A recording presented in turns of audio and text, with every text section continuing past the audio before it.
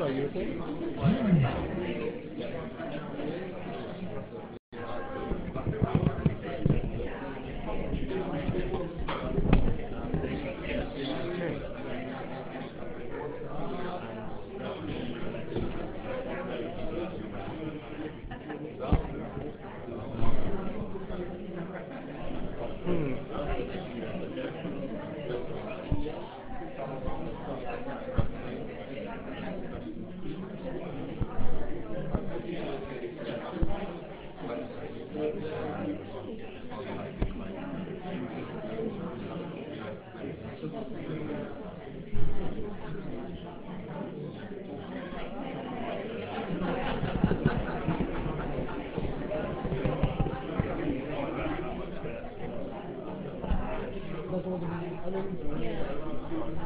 I think. Um,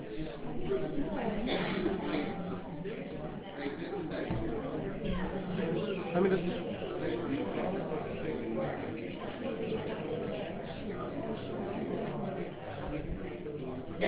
Hi guys, welcome. We're just at the uh, World Development Movement's um, EU hustings, hosted by the yeah, World Development Movement, and we'll be starting soon. Hopefully you can join us.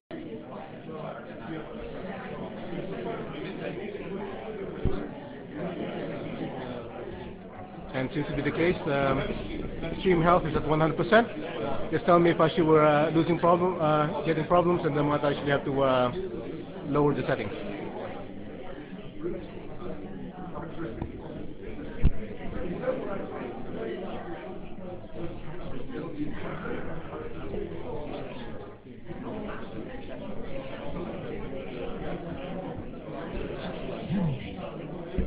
Okay, thank you for watching. Just tell me if any problems, and I might. How's the video anyway? Hopefully it's actually uh, crisp. I'm using the Wi-Fi in this place.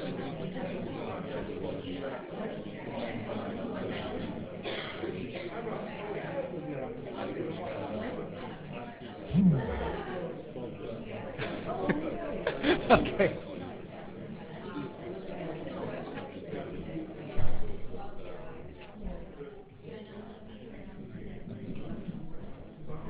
I think we should start. We've been, we've been friendly enough to the empty seats, which is the Labour Party seat.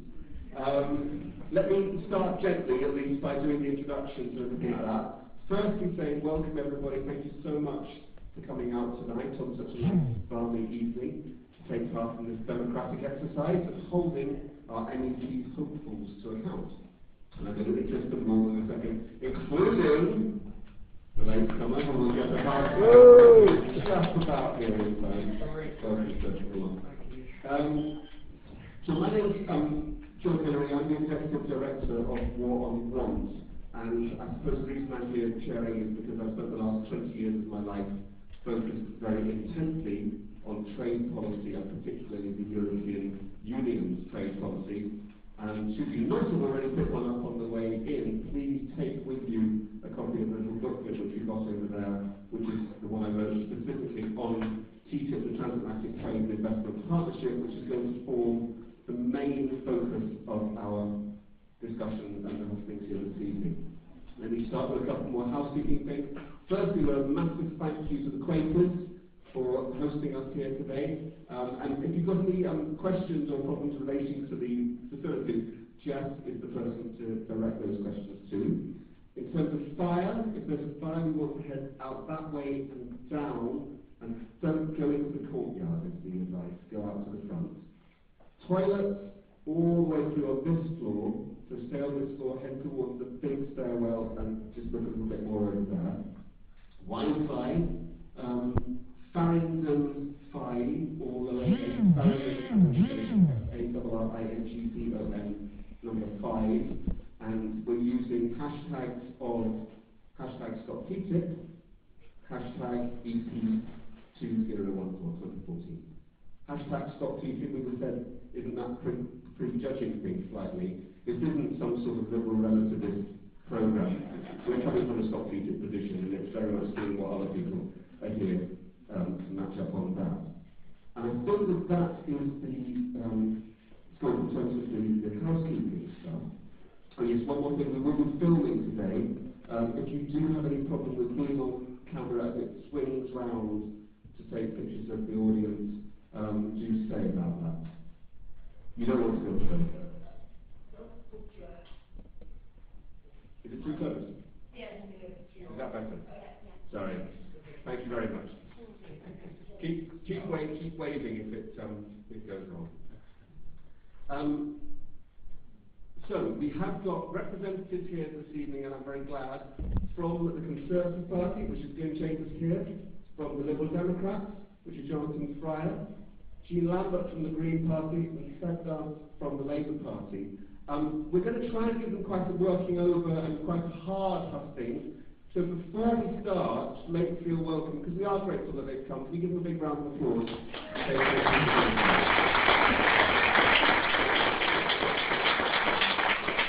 We, did also um, invite UKIP, UK Independence Party, and they declined to come, um, despite having been given weeks and weeks of advance warning. They then said at the last moment it was too late for them to be able to reply, um, which we can't really understand. So maybe we can just say something about UKIP to start off, as if they were here. Um, UKIP, I think we've seen from the stuff that you may have got through your front door like I have, are an unremittingly nasty party with a racist agenda. So we can get that out of the way immediately. However, what I will say about them is on TTIP, on trade, they are quite interested.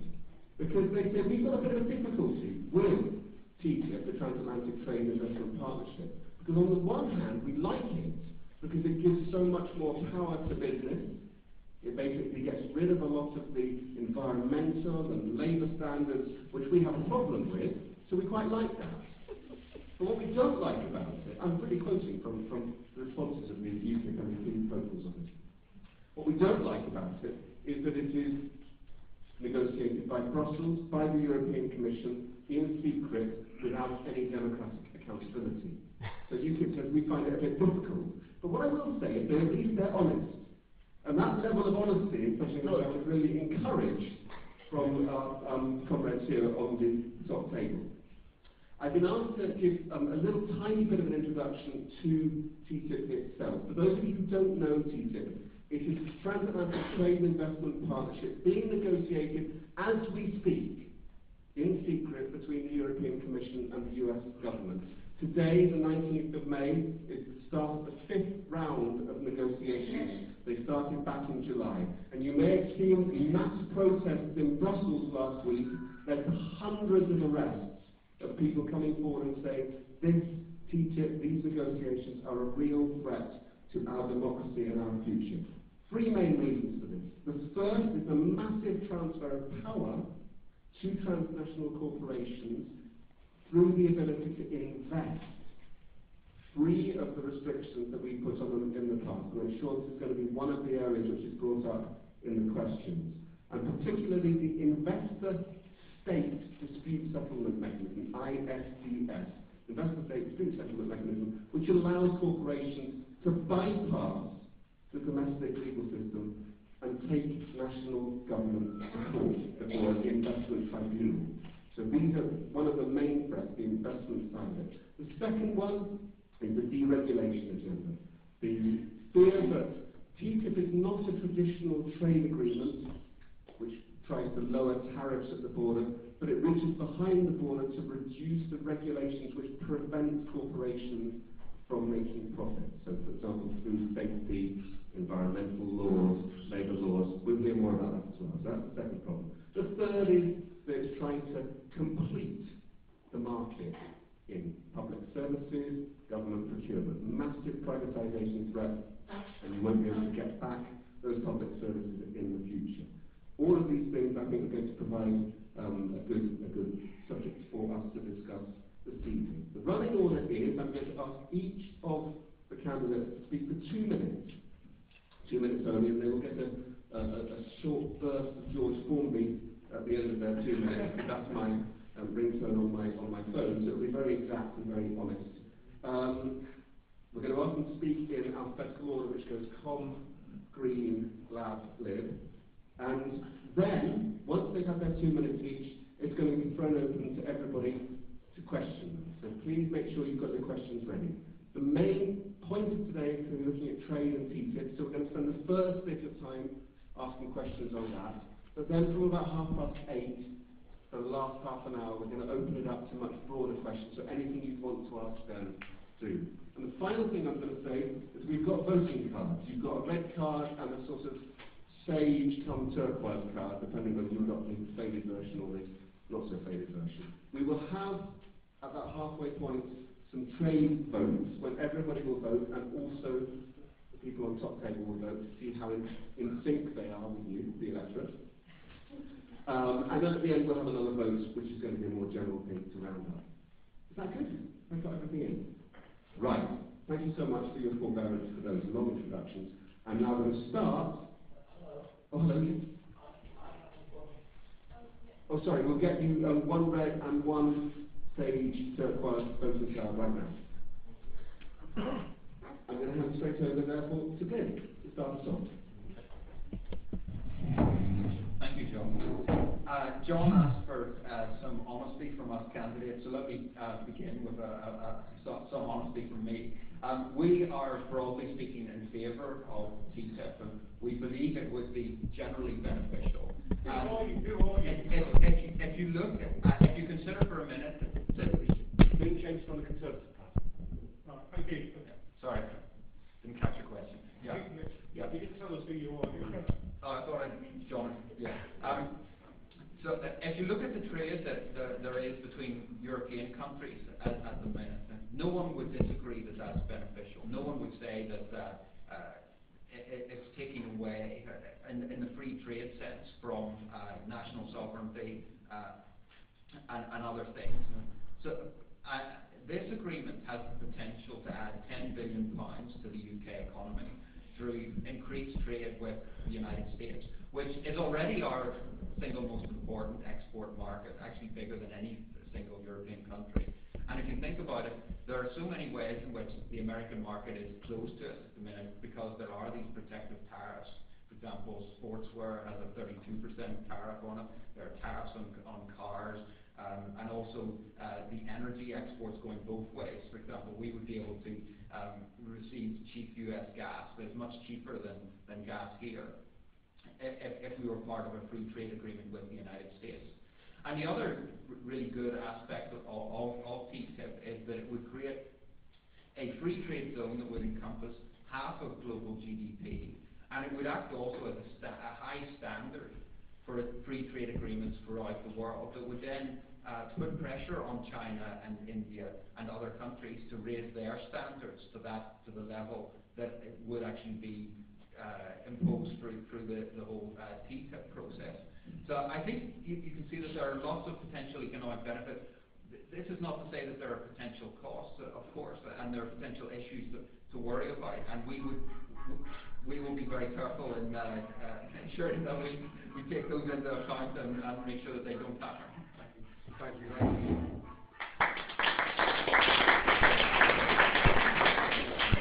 Thank you very much. That's very good. And you had a little bit short of time because you were interrupted at the beginning, but doesn't matter. Um, I would also like to say that there is a little bit of, to the candidates that we will also have a bit of a, a, a reality check. The 10 billion pound claim, which has been made by the government? The 10 billion pounds claim, which has been made by the government, has actually been disowned by me as well. We met with Ken Clarke. as far as I understood, it wasn't made by the government, it was made by the Centre for Economic Reform. and then promoted by the government. And the government, but it's an Ken, thing. Ken Clarke has now said, who's the minister in charge, he said that you shouldn't trust that ten billion pound game. Just a minute. Jean, Jean Lambert, who is from the Party. quite a terrifying experience, I have to say, with George Formby boot. um, I think I saying to words generally about trade in the beginning, but for us as Greens, we're very clear that trade, international trade, should not be undermining development, it shouldn't be undermining um, aid. And the, the Greens in the European Parliament have opposed a number of the free trade deals uh, which the European Union has negotiated with various partners um, for a number of reasons. One of them is that we do have concerns about the role of international business in the way in which it's effectively creating its own international law, it seems to us. But we also think that if you're going to have a trade agreement, at, at least you know, it should between, be between bodies which are sort of equal almost in powers. And certainly you can say that, that for TTIP this is much more equal in some senses than many of the agreements that we've had. But we don't believe that agreements are there to entrench inequalities and inequalities of power. And again, we're back to the advantages that are there for transnational within the particular setup of this agreement and various others. And we also think the trade agreement should not be undermining standards on labour rights, standards on environmental um, norms, and indeed human rights um, standards. So we have concerns about a number of the agreements, as I say, that have been on the table are still on the table. But we feel that quite often the benefits that are advertised for them don't materialise, and that quite often the assessments that are done in advance don't really look at issues holistically. Various things are left out, and we can say something more about them when we come to a real deep discussion on TTIP. And for us as well, particularly with TTIP at the moment, the transparency issue is an important one, one of the very, very few things, in fact possibly the only one that we share with UKIP on any agenda.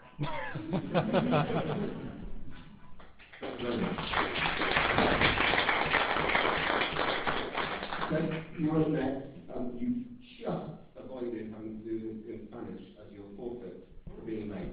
Um, because you were just in time. That's really that's a good correction. Um, And this is set from the Labour Party. From the Labour Um, yes, I, I, there's actually not very much, if anything, that I disagree with that Jean has just said. So um, I won't repeat a lot of it. But um, what I will say is that when it comes to trade agreements, there have been some, uh, most notably the uh, trade agreement with Colombia and Peru, for example, that the uh, Labour Party and our sister parties in the European Parliament also voted against because uh, of um, conditions uh, for trade unionists in those countries which were not up to the level and standard that we would expect to protect basic uh, um, uh, rights at work. Uh, so uh, again, we, we would apply the same thing, but I just, two minutes is not enough to outline everything, so I'm sure we'll get to the issues uh, in, in the cut and thrust of the questions. But very briefly, where um, I am completely at odds, as I am with most things with UKIP, is on the issue of the competency of the European Union and the ability to negotiate uh, trade agreements of this, of this nature. Of course, we are talking about a marketplace of well over 500 million citizens and the ability to influence world trade patterns, which would simply not be the case were we to leave uh, the European Union. And this issue, uh, TTIP and in the ISDS in particular, and I have to pay uh, tribute to the trade justice movement for the campaign they're running on this, uh, this issue is by far the, um, uh, the, the one of which I've received the most correspondence. So this is uh, engaging citizens. This is something that people are um, uh, taking part in the conversation about. Now, interestingly, I think this is where we are doing better than at nation state level because we already have trade agreements, variety of trade agreements between member states, between uh, EU member states and non-member states, and of course the UK, uh, where ISDS and other similar provisions already exist, and we simply don't talk about them. We don't have this level of scrutiny. So I, for one, am actually extremely glad that this is an issue that we are looking at in detail, that civil society is looking at and lobbying potential prospective MEPs uh, and existing MEPs about, and I hope we get to talk a bit more about the detail, but I wanted to get that point out because I think it is a, it is a real positive and it does illustrate the benefits of the European Parliament.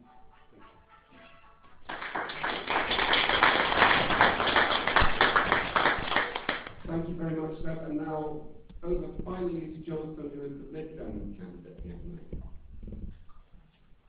Thanks very much, John, and good evening, everyone.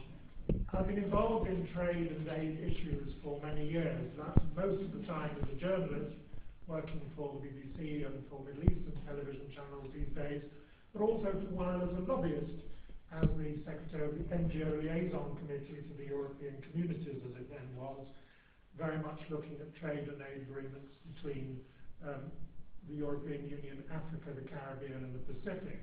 So I come from this from a perspective of basically wanting to see an agreement that will actually deliver what it says it will for not just the people of the United States and the European Union, but for the whole of the world as well. In other words, to ensure that there is an element of justice in this trade agreement. What I'd like to come out of this evening, which might surprise you, is not a vote one way or the other, and I suspect which way, which colour cloud might be held up, but actually to urge in the spirit of European Parliament workings that we who are genuinely interested in trade and aid work together to try to make TTIP better. And if we do that, manage that, that's great. And if we don't, then we should vote against it. In other words, I think the potential is there if it is improved. There are two areas that I do worry about. The ISDS, this, this idea that American corporations could sue um, outside of government, I find that appalling. Certainly would not support that. And I think we might need to ring fence certain areas, for example, the NHS here in Britain. But I would say don't throw the baby out with the bathwater. You're doing a great wor work, many of you, lobbying and pointing out real dangers, but don't assume therefore it won't happen. Let's try and make it happen better, and as I say, if we can't, then indeed vote it down.